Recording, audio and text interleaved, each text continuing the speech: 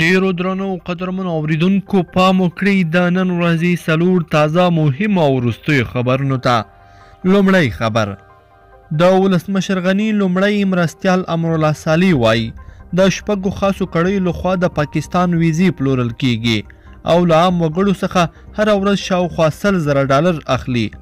نوموړی وایي موږ پوهیږو چې کومو حلقو د پاکستان وړیا ویزې په کمیشن کاري بدلې کړې دي دوهم خبر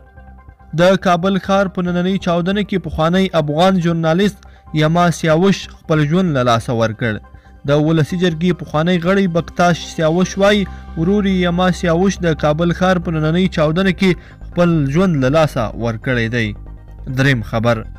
د هلمند نادالی ولسوالۍ لپاره د طالبانو استخباراتي مشر ووژل شو د ملي دفاع وزارت وایي د نادالي ولسوالۍ استخباراتو مشر له خپلو نهو ملګرو سره تیره ورځ په هوایي برید کې وژل شوی دفاع وزارت سیای زیاتوي برید کې د هلمند لپاره د طالبانو د والي مرستیال هم ټپي شوی دی څلورم خبر جو بایډن وایي زه نه وایم بلکې ارقام او شمیرې وایي چې ګټونکی زه یم د امریکا ولسمشریزو ټاکنو ته نوماند جو بایډن وایي چې رای یې ګټلې دي او ګټونکی هم دی دی هغه څو ساعته وړاندې په یو خبري کنفرانس کې د خبرو پر مهال ټرمپ ته په خطاب کې وویل چې دی نه وایي بلکې ارقام او شمیرې وایي چې بایډن ټاکنو ټاکنې ګټلې دي هغه ټول امریکایانو ته مبارکي ورکړې ده چې وی کړای شو ځان له یوې بې مسولیته ولسمشره خلاص کړي لیدونکو په دې هیله چې دا څلور خبرونه به مرا سره تر پایه پورې لیدلي وي که مو دا ویډیو خوښه شوې ویډیو لایک کړئ د سره او چینل سبسکرایب کړئ تر بیا ښه وخت